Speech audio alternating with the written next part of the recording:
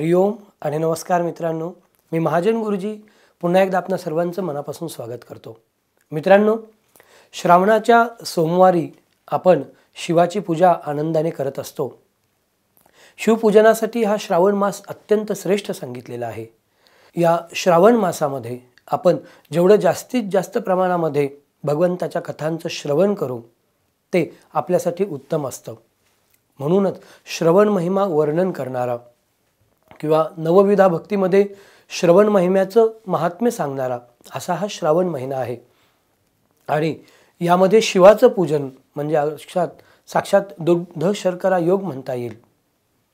याचं वर्णनच ऋषीमुनींनी सांगितलेलं आहे की शिवपूजनामध्ये शिवाला अत्यंत प्रिय काय आहे? तर जल आणि अभिषेक या दोन गोष्टी शिवाला अत्यंत प्रिय आहेत. त्यामुळंच हे शिवाचं पूजन करत असताना शंकराचं पूजन करत असताना शिवामुठीचं व्रतसुद्धा अत्यंत आनंदाने केलं जातं. हे शिवामुठीचं व्रत कसं करावं? कोणी करावं? कशा पद्धतीने शिवमुष्ठी अर्पण करावी? शिवाला प्रिय असणारं धान्य कुठलं आहे?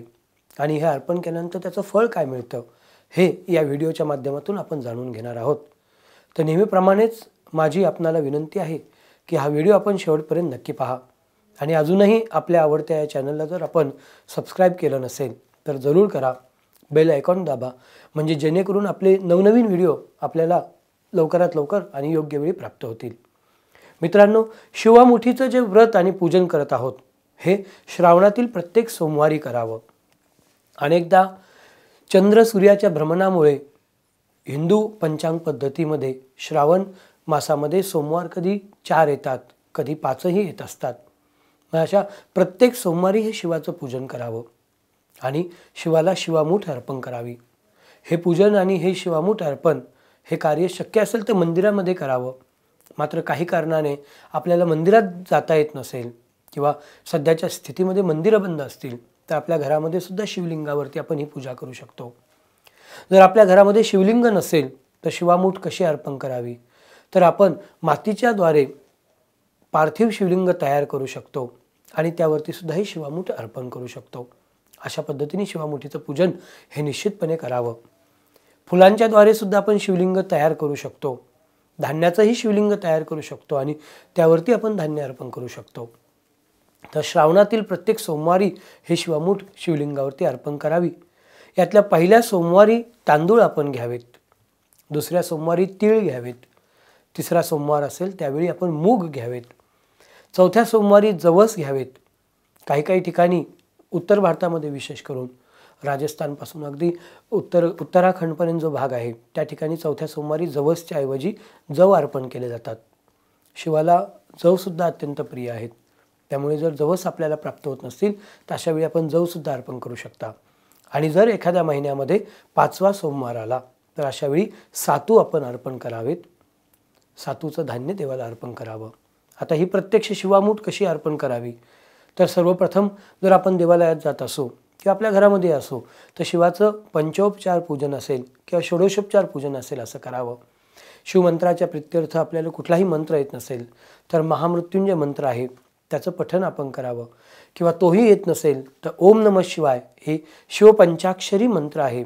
किंवा शिवपंचाक्षरी अक्षर पाच अक्षरांनी बनलेला शिवाचा सिद्ध मंत्र आहे. त्याचं आपण निरंतर स्मरण करत राहावं आणि शिवाची पूजा करावी.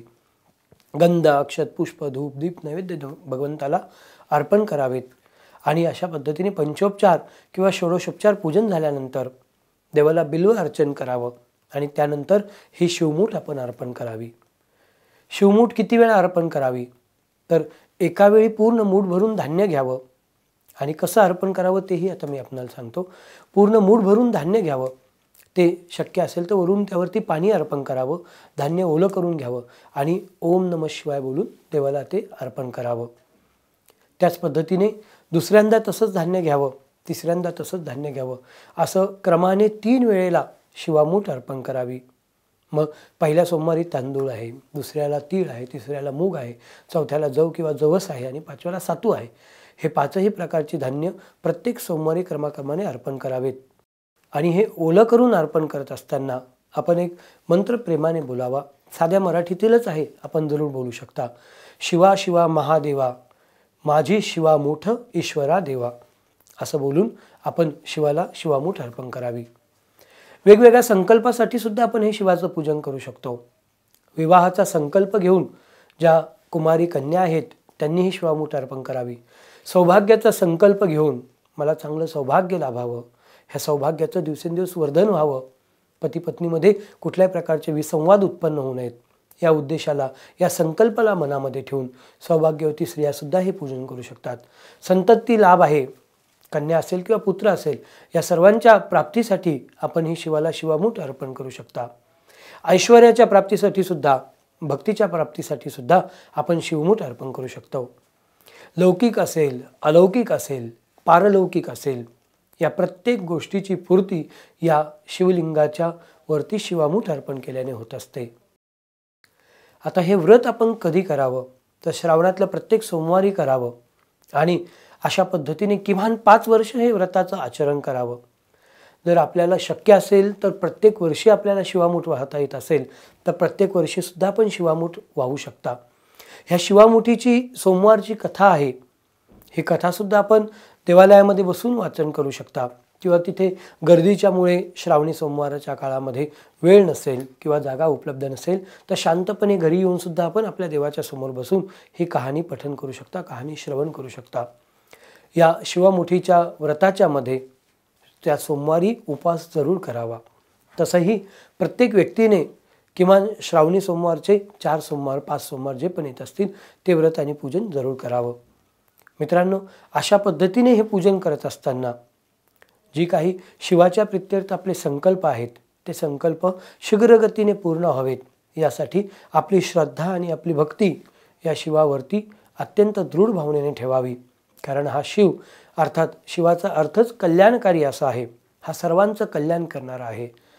देव दानव दैत्य या सर्वांना आणि मानवांनासुद्धा शिवाने अनेकदा वरदान दिलेलं आहे. त्यामुळे याला भोलेनाथ म्हटलं जातं. आणि या भोलेनाथाचा असा पवित्र सोमवार आणि या सोमवाराचं श्रावण महिन्यातला विशेष करून सोमवार यावेळी केलेलं हे शिवामुठीचं व्रत अत्यंत सफल आणि शीघ्रतेने इच्छित फल प्रदान करणारं असतं. आपण जरूर या व्रताचं पूजन करावं आणि त्यातून आपल्या मानसिक पारलौकिक लौकिक इच्छांची पूर्तता व्हावी. या एका कामनेसह मी महाजन गुरुजी आता आपली आज्ञा घेतो. हरिओम आणि नमस्कार.